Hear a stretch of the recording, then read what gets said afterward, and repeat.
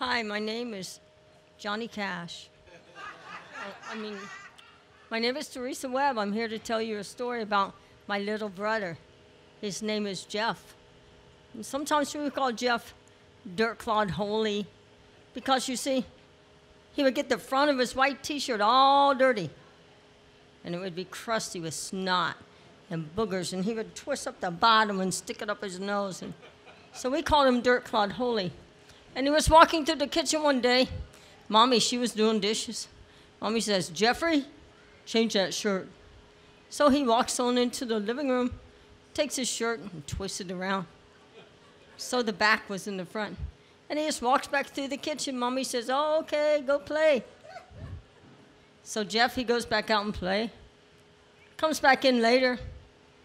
Mommy says, Jeffrey, go change your shirt again. So he went in the other room. He took his shirt off, turned it wrong side out, and put it on in the front. Walked through the kitchen. Mommy says, Oh, good job. Going out and play. But see, Mommy, she does the dishes. She breaks the beams. And she just takes for granted that Dirt Clod Holy is being honest and obedient. So he goes on outside and for the fourth time comes in. Mommy says, Jeffrey, can't you keep your shirt clean for just a moment? Mommy, I'm playing, Clod Holy says. So he takes and he switches it around one more time. Well, you see, another habit that Dirt Clod Holy had was he liked to chew on his toenails. He liked to pick his toe jam and with his teeth. And how he got his toes all the way up there, I don't know. But he managed to do that. And his toenails would be bent back like my nails are today. And he would just chew on them and chew on them. Well, one day, he was a Boy Scout too. My daddy, he was a Boy Scout leader. So they were out mowing yards for the Boy Scouts. And they went to this church. And when they went to the church, there was a slight hill. Not really, really big, but a slight hill. And so Jeff had to figure out how was he going to mow down that hill without falling. So he tried tying a string to a, the lawnmower and pulling it back. Now, he was 14 at this time, so he should have had a little bit more common sense on safety issues. But he saw that that string wasn't coming back, it was going crooked, so he thought, well, I can just do this. So he took his shoes off and thought, well, he can just dig his toes into the dirt and grind himself as he goes down the hill. He would just stick his toes into the dirt, push a little farther, and stick his toes into the dirt and push a little farther, and stick his toe uh, until that one foot slipped under the lawnmower and it cut his toe off.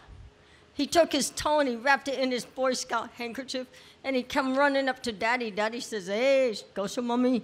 So, Mommy, Mommy, he runs up to mommy with his toe wrapped in the Boy Scout hanky. Mommy says, Well, Dirt Clod Holy, you know what we're going to have to do? We're going to have to give that toe back to Mother Earth. So I want you to go dig a hole and plant your toe.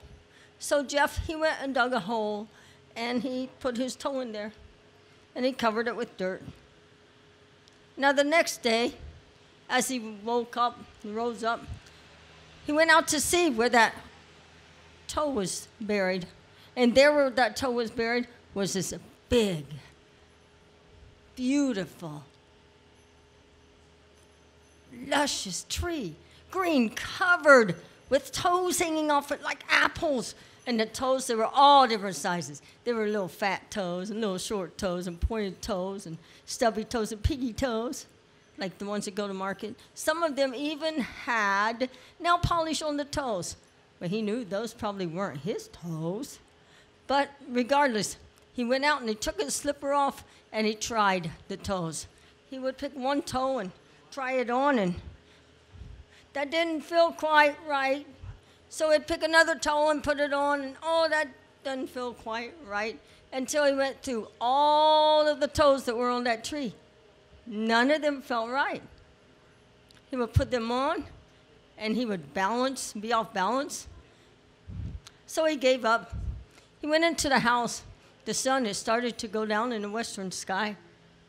And he sits down at the table, Mommy, what time is dinner? Pretty soon, son. So Jeff sits there, he waits for dinner. And mommy's setting the table for dinner. She sets a jar of pickles on the table. Jeff opens the pickles, takes a pickle out, sticks it on his toe.